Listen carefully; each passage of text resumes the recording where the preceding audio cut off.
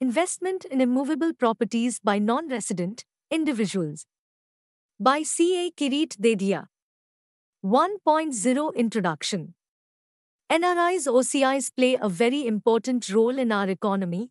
Considering the same in mind, RBI has allowed the investment in immovable property by NRIs OCIs in India, subject to certain conditions. NRI OCIs are permitted to invest in both residential and commercial properties.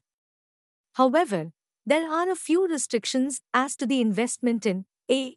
Agricultural land or B plantation property or C. farmhouse property, hereinafter called restricted property. The immovable property in India can be acquired by the NRI OCIs either by direct purchase or a gift or inheritance. The rules governing the acquisition of immovable property in different modes are listed below. 2.0 Relevant definitions 2.1 Non-resident Indian NRI or non-resident Indian means an individual resident outside India who is a citizen of India. Non-resident Indian NRI is a citizen of India who stays abroad for employment carrying on business or vocation outside India or stays abroad under circumstances indicating an intention for an uncertain duration of stay abroad.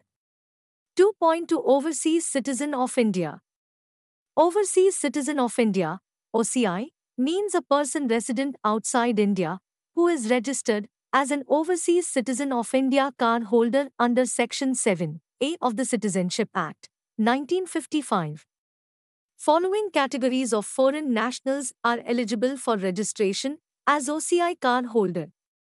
Who was a citizen of India at the time of or at any time after the commencement of the Constitution, i.e., 26 January 1950, or who was eligible to become a citizen of India on 26 January 1950 or who belonged to a territory that became part of India after 15 August 1947 or who is a child or a grandchild or a great-grandchild of such a citizen? Or who is a minor child of such persons mentioned above? Or who is a minor child and whose both parents are citizens of India or one of the parents is a citizen of India, or spouse of foreign origin of a citizen of India, or spouse of foreign origin of an overseas citizen of India card holder registered under Section 7 AM of the Citizenship Act, 955, and whose marriage has been registered and subsisted for a continuous period of not less than two years immediately preceding the presentation of the application. However, no person, who or either of whose parents or grandparents or great grandparents is or had been a citizen of Pakistan, Bangladesh, or such other country, as the central government may, by notification in the official gazette, specify, shall be eligible for registration as an overseas citizen of India card holder. 2.3 Transfer Transfer includes sale, purchase, exchange, mortgage, pledge, gift, loan or any other form of transfer of right, title, possession or lien. 2. 4. Person of Indian origin, PIO.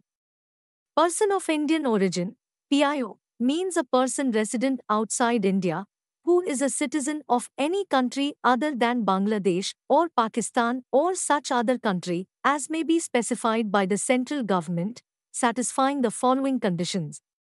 A who was a citizen of India by virtue of the Constitution of India or the Citizenship Act, 1955, 57 of 1955, or b. who belonged to a territory that became part of India after the 15th day of August 1947, or c.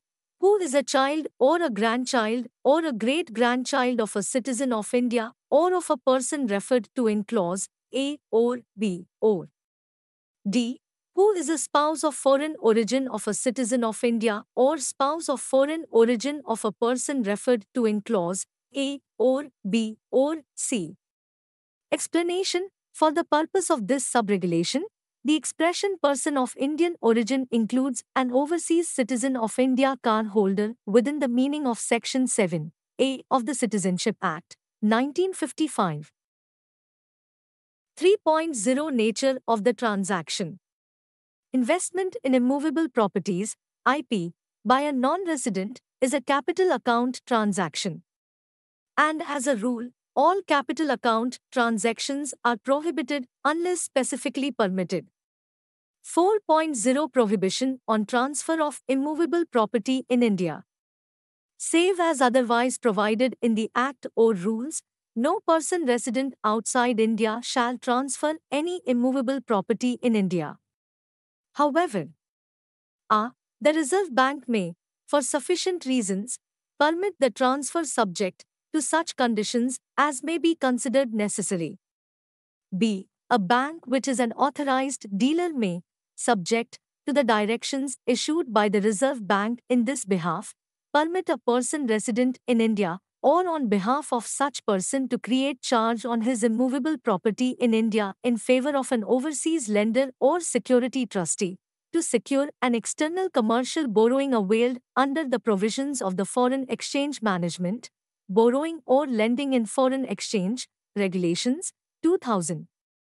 C. An authorized dealer in India, being the Indian correspondent of an overseas lender, may, subject to the directions issued by the Reserve Bank in this regard, create a mortgage on an immovable property in India owned by an NRI or an OCI, being a director of a company outside India, for a loan to be availed by the company from the said overseas lender. Provided further that I, the funds shall be used by the borrowing company only for its core business purposes overseas. 2. In case of invocation of charge, the Indian bank shall sell the immovable property to an eligible acquirer and remit the sale proceeds to the overseas lender. 5.0 General Permission From time to time, general permissions are given to certain non-resident person to acquire immovable property in India and those permissions were enshrined in following regulation and rules. Times Notification No.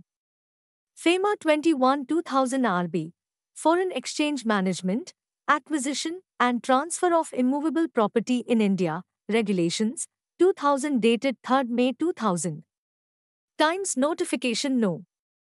FEMA 21 R 2018 RB Foreign Exchange Management, Acquisition and Transfer of Immovable Property in India, Regulations, 2018 dated 26 March 2018. Times Chapter 10 titled Acquisition and Transfer of Immovable Property in India in the rules called Foreign Exchange Management, Non-Debt Instruments, Rules, 2019 dated 17 October 2019. Each subsequent regulation rule superseded previous regulation.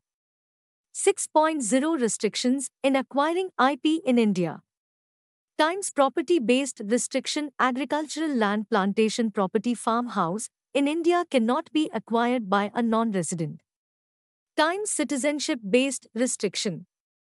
Citizens of 11 countries, viz. Citizen of Pakistan or Bangladesh or Sri Lanka or Afghanistan or China or Iran or Nepal or Bhutan or Macau or Hong Kong or Democratic People's Republic of Korea, DPRK, cannot acquire IP in India irrespective of their residential status unless they obtain prior RBI approval. However, this prohibition shall not apply to an OCI card holder. They can acquire IP on lease for a period not exceeding five years times foreign nationals of non-Indian origin resident outside India are not permitted to acquire any immovable property in India unless such property is acquired by way of inheritance from a person who was resident in India. Sec 6, 5 of the Act. However, to sell the said inherited property, he will have to obtain prior permission of the RBI. 7.0 Change in residential status from resident to non-resident. Section 6. 5. Reads as a person resident outside India may hold, own, transfer or invest in Indian currency, security, or any immovable property situated in India if such currency, security, or property was acquired, held, or owned by such person when he was resident in India or inherited from a person who was resident in India. Section 6. 5. Permits a non resident individual to hold, transfer, or reinvest IP in India when his residential status changes from resident to non resident subject to fulfillment of the conditions stated in the section. 8.0 Acquisition of the immovable property in India. As per Chapter 10 of Foreign Exchange Management, Non-Debt Instruments, Rules, 2019, several types of non-resident can acquire transfer IP in India under automatic route subject to certain conditions to be fulfilled. Let's discuss in detail. 8.1 Acquisition of the immovable property by way of purchase other than restricted properties. A NRI or an OCI may acquire immovable property in India other than an agricultural land or farmhouse or plantation property. Provided that the consideration, if any, for transfer shall be made out of I. Funds received in India through banking channels by way of inward remittance from any place outside India, or 2 funds held in any non-resident account maintained in accordance with the provisions of the Act, rules or regulations framed thereunder. Provided further, that no payment for any transfer of immovable property shall be made either by traveller's check or by foreign currency notes or by any other mode other than those specifically permitted under this clause. 8.2 Acquisition of the immovable property by way of gift other than restricted properties. NRI or OCI can acquire any immovable property in India other than agricultural land or farmhouse or plantation property by way of gift from a person resident in India or from an NRI or from an OCI, who in any case is a relative as defined in Clause 77 of Section 2 of the Companies Act, 2013. 8.3 Acquisition of the immovable property by way of inheritance, including restricted properties.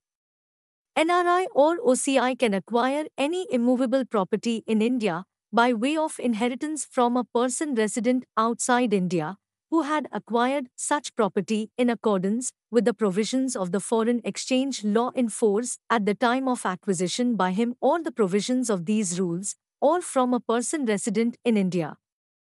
8.4 Transfer of immovable property in India.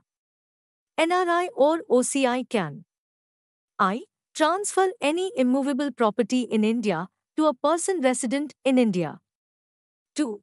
Transfer any immovable property other than agricultural land or farmhouse or plantation property to an NRI or an OCI. 8.6 Joint acquisition of the immovable property by the spouse of a NRI or an OCI.